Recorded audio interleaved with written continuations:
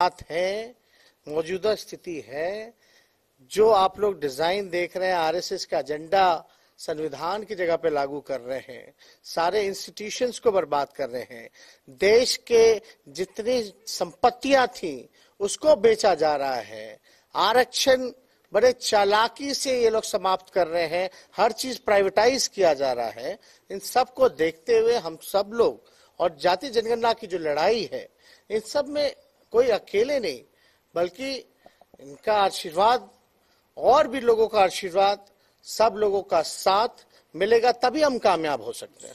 आप कल तमिलनाडु गए थे कहा जा रहा है कि विपक्ष को एकजुट करने के काम आप कर रहे हैं राहुल गांधी से मिले उमर अब्दुल्ला से भी। अरे उनका स्टालिन साहब का आज जन्मदिन है और कल जो है उनका ऑटोबायोग्राफी जो था वो उन्होंने लॉन्च किया और हमें खुशी है कि हमें उन्होंने हमको याद किया और हम वहाँ गए। और जो डीएमके की जो पॉलिटिक्स रही है पेरियार साहब की विचारधारा जो लेगेसी को लेकर के इन लोगों ने कंटिन्यू किया है द्रविडियन पॉलिटिक्स को लेकर के उसको तो हम लोग देखते ही हैं। वो चीज़ विचारधारा तो हम लोगों का मेल खाता ही है। तेलंगाना तेलंगाना के कांग्रेस के प्रदेश अध्यक्ष उन्होंने बयान दिया है केसीआर के ऊपर कि उनका डीएनए बिहारी हो गया है और उन्होंने ये भी कहा कि बिहार में ना कानून व्यवस्था ठीक है बिहार में नहीं नहीं सुरक्षित नहीं है हमने हमने कोई कोई कोई बयान नहीं देखा है। और हमने कोई कोई कोई बयान नहीं देखा। स्टालिन साहब की जन्मदिन की बात कर रहे थे। आज बिहार के मुख्यमंत्री नीतीश कुमार का भी जन्मदिन है। तो कैसे शुभकामना देंगे सर? नहीं नहीं, शुभकामना तो है ही। दिया ही हुआ है जन्मदिन की। और हम तो नरेंद्र मोदी जी को भी शुभकामनाएँ देते हैं। वो अलग बात है कि वो हमारे जन्मदिन पे ये दोनों नेता हमको शुभकामनाएँ नहीं देते लेकिन हम तो छोटे हैं। हमारा पिता ने, हमारे माता ने, हमारे परिवार ने सिखाया कि बड़ों की इज़्ज़त करो। तो देखिए, जन्मदिन है तो शुभकामना तो देना ही होता है। उसमें कौन सी बड़ी बात है? सामाजिक न्याय, धर्मनिरपेक्षता की। उस दिशा में हम सब लोग मिलकर के काम करेंगे। तो अब तो आप लोग जान ही रहे हैं कि भाई, राष्ट्रीय जनता दल जो है, सदस्यता अभियान हर तरीके से चल रहा है। और इस पे हम सब लोग, अभी तो कई देवेंद्र यादव जी भी जो हैं वो भी अपने पार्टी का भी विलय कर रहे हैं। कई ऋषि मिश्रा या और भी लोग जो हैं, लगातार पार्टी की सदस्यता अभियान में शिरकत कर रहे हैं। तो हम लोगों का एक राय है कि लगातार शरद जी ने उन ताकतों से लड़ाई लड़ा और सामाजिक न्याय के विचारधारा पे चलते रहे धर्मनिरपेक्षता, जो लोग नफरत फैलाते रहे उनके खिलाफ ये खड़े रहे हर एक मुद्दे पर। तो आज हम आए हैं। इनकी हालचाल सेहत की जानकारी ली है। और जब मिलते हैं तो पॉलिटिक्स की भी राजनीति की भी तो बात होती ही है। तो और बाकी बातें जो है जब समय आएगा तो आप सब लोगों को विस्तार रूप से हम लोग बता देंगे।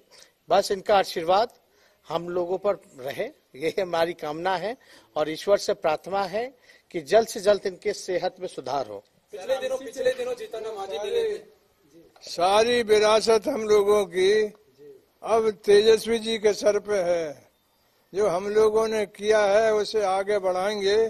ये हमारा सबसे बड़ा सपना है। नहीं नहीं मिल के बढ़ाएँगे। मिल के बढ़ाएँगे। जी। मांझी जी पिछले दिनों मिले थे तो उन्होंने कहा था कि शरद यादव जी को राज्यसभा भेजने के लिए आरजेडी पहल करे। तो क्या आज मिले हैं तो इसका सोचेंगे आप? नहीं नहीं ये तो बात आज तो हम लोग मुलाकात किए हैं। और इस पे बाद में देखा जाएगा। सर ज़िम्मेदारी दे रहे हैं। ये बात गलत है। ये बात गलत है। कोई के बयान पे बयान नहीं लेना चाहिए। सर सर सर आपको शरद जी जो है वो आपको ज़िम्मेदारी दे रहे हैं कि साझी विरासत है कि एक मंच इन्होंने शुरू किया था। आप बोले कि ज़िम्मेदारी अब आपकी है। कैसे निभाने निभाने के लिए आप आगे नहीं नहीं देखिए जो समाजवादियों की जो राजनीति रही है जो हमारी विचारधारा है कोई अकेले एक व्यक्ति के बस की बात नहीं है। ये हम लोग जात की नहीं बल्कि जमात की राजनीति जो है कर रहे हैं तो इसको संभालने के लिए कोई तेजस्वी काफ़ी अकेले नहीं हो सकता है। ये पूरी जमात होनी चाहिए। और हमारी कोशिश ये है कि सब लोग जो हैं एकजुट हो। मन देखिए मतभेद तो होता है लेकिन मतभेद नहीं होना चाहिए। सब लोग मिल करके जो देश किया गया बिहार विधानसभा का तो बजट किस तरफ़ देख रहे कल बजट अब आप कल भाषण सुनिएगा एक आखिरी सवाल है? कि शराबबंदी कानून में बदलाव किया गया है अब जो पी कर आएँगे अगर सोर्स बता देंगे तो उनको जेल नहीं होगा। जो अरे, अरे, बता देंगे तो क्या सर, शराबबंदी पे नया घटना हुई है कि जो शराब पी के आ रहे हैं अगर वो ये बता देंगे कि कहाँ से उनको शराब मिला तो उनको जेल नहीं होगा। अब कौन क्या कहेगा? इसका इन्वेस्टिगेशन टीचर करेगा कि पुलिस विपक्ष में है सर अरे आप आप आप, आप बताओ ना। इन्वेस्टिगेशन कौन करेगा? आप पुलिस पे जो आरोप लगाएगा? उसका इन्वेस्टिगेशन कौन करेगा?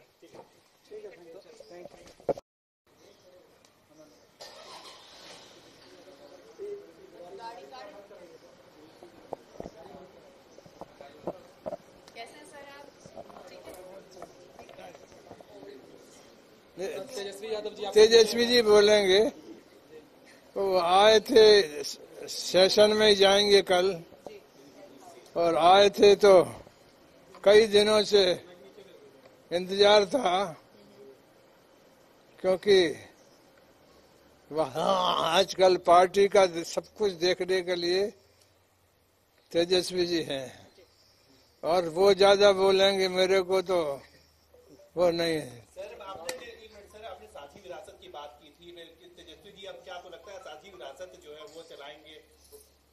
साझी विरासत की आपने परिकल्पना की थी अब अब आपको लगता है कि ज़िम्मेदारी आप तेजस्वी जी को दे रहे हैं साझी विरासत की वो चलाएँगे हाँ हाँ सब ज़िम्मेदारी उन्हीं को है। अब अब सब लोग जो सारी ज़िम्मेदारी हट गई इन्हीं के ऊपर सब ज़िम्मेदारी सब ज़िम्मेदारी इन्हीं के ऊपर है। तेजस्वी जी एक मिनट तेजस्वी जी आपका हम लोग दो दो मिनट का वन टू वन कर लें नहीं नहीं मैं फ़्लाइट है फ़्लाइट है। आप आज शरद यादव से मिले हैं क्या बातचीत हुई नहीं शरद जी हमारे अभिभावक हैं और हम लोग के मार्गदर्शन समय समय पे ये देते रहते हैं। सही, गलत चीज़ों के बारे में हमेशा जब भी बैठते हैं तो बताते रहते हैं, सिखाते रहते हैं। और, बिहार के ही नहीं, बल्कि देश के बड़े नेता रहे, समाजवादी नेता हैं। और कई दिनों से हमारी मुलाकात नहीं हुई थी।